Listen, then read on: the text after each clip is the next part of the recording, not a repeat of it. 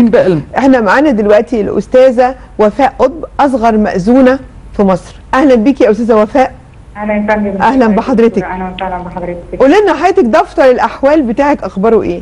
دفتر الطلاق أخباره إيه؟ آه، الطلاق شغال على طول. أكتر من الجواز؟ آه، لا هو مش أكتر من الجواز طبعا آه، في النسبة بس طبعا نسبته بالنسبة للجواز نسبة مرعبة. مرعبة. أنا بس حابة أوضح إني أنا مأذون شرعي بمحافظه الإسماعيلية. وطبعا معروف محافظة الاسماعيليه بتتصدر المراكز الأولى على مستوى الجمهورية في ارتفاع نسب آه، الطلاق؟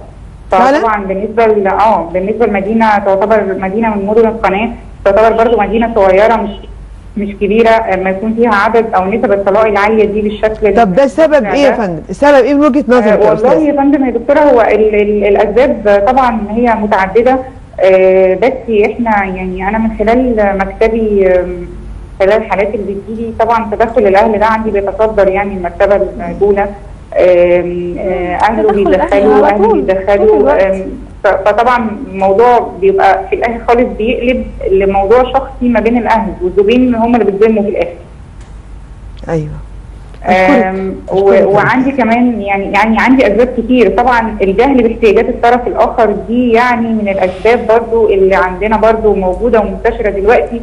أنا مش عارفة احتياج احتياجات زوجي إيه فبالتالي بتعامل معاه بغلط وكذلك العكس صحيح فبالتالي ببتدي أدور على احتياجاتي دي بره سواء بقى على السوشيال ميديا أو بره بعلاقات خارجية عن طريق التليفون أو المقابلات وممكن تتطرق لاكثر من كده حدود العلاقة فطبعا ده بيؤدي إلى فشل طبعا والعلاقة الزوجية. عندي برضو آه، تدخل سواء بقى الأصدقاء آخد بنصيحة حد مش مش خبرة. عندنا هنا برضو صغر سن الزواج لأن الخوف نفس شبح العنوسه مظبوط.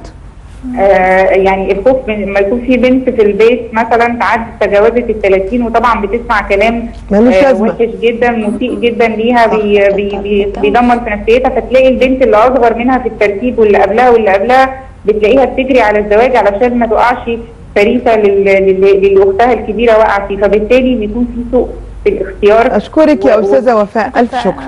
أنا بس عندي سؤال يا دكتور.